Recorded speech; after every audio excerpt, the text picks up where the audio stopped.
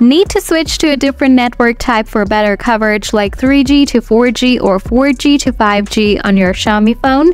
Look no further. Today we're going to dive into how you can easily change SIM network mode on Xiaomi Android phones and optimize your internet experience. So without wasting any time, let's get started. Open the Settings app, then find SIM cards and mobile networks and tap on it. After that, select the SIM network you want to change its mode.